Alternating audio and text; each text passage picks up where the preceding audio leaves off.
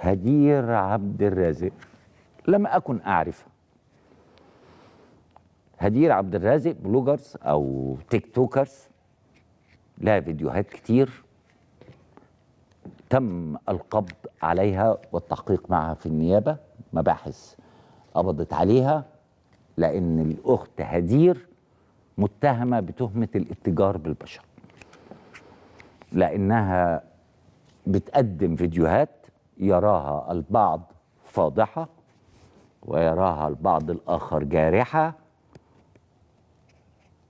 وتحريض على الفسق والفجور. وطبعا لما بيتمسك موبايلها بتتمسك بتيجي كل حاجة وكل الفيديوهات وكل الرسائل. هذه البنت عندها 26 سنة. لن أخفيكم سرا إنهم بيصعبوا عليا قوي طبعا أي حد ضد التصرفات الخاطئة. ولكن أصبح لدينا هوس يا جماعة اللي يدخل على تيك توك يتفرج على واحدة بتتحدى واحد إنها تقلع بالمايو قدام المشاهدين فتقول لها هديكي خمس اسوده مش عارف يعني إيه اسوده وكبس وحط لي إيه قلوب ولا مش عارف حاجات كده يعني ادعمني واضح إن دي بتجيب فلوس. فالبنات مش مصريات أو مصريات بس مش عايشين في مصر. ولكن في النهاية هو هوس الثروة هوس الفلوس. في ظل ظروف اجتماعية قاسية وفي ظل إعلاء لنجوم الفن النص نص نجوم الرياضة بالكلام عن الملايين وهم إمكانياتهم ضعيفة. هل الإمكانيات الضعيفة كل اللي إمكانياتهم ضعيفة ممكن يلجأوا إلى هذا الطريق؟ لا. إحنا كلنا أولاد ناس غلابة على فكرة. كلنا عانينا وإخواتنا عانوا وأبهاتنا عانوا عشان نتعلم وعشان نشتغل وعلشان نعيش. محدش طلع كده. لكن في لا نستطيع أن ننكر أن هناك ضعاف نفوس بيوت مفككة. يعني أنتوا عايزين تقنعوني إن أبو هدير عارف هي بتعمل إيه؟ أمها عارفة؟ بيشوفوا؟ ولا لما بتروح تديهم فلوس بيفرحوا ويقولها بتشتغل إيه يا بنتي؟ زي زمان هتقول ممرضة تشتغل في أي شركة.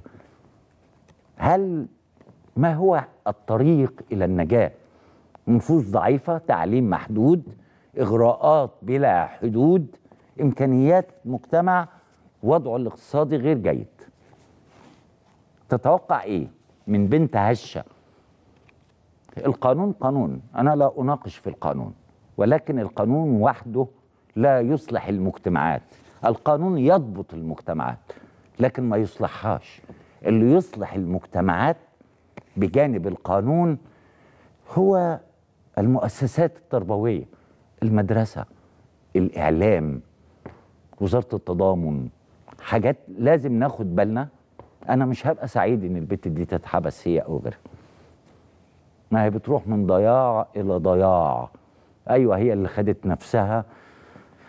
بس أنا وظيفتي إن أنا أنقذ حياة البشر إن أمنع الجريمة ومنع الجريمة كمان يأتي بالتوعية بالطبطبة.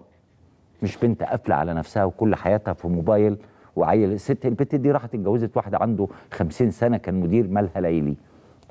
وهي عيلة. واتطلقت منه وعملت الفضيحة برضه على التيك توك. ما شاب تاني بيظهر معاها اصغر منها بيقولوا هيتجوزها ما يتجوزهاش. نميمة سخيفة وحكايات ولبس الشخلعة علشان هتتفرج على إيه؟ ما أنت لازم تتفرج على حاجة فتقعد وقت أطول فتقول لك كبس هعمل لك تحكي لك حكاية وتكملها بفيديو تاني. نحن نريد أن نتخذ خطوات حقيقية لإنقاذ البنات الضعيفات الجاهلات اللي عندهم استعدادات للانحراف.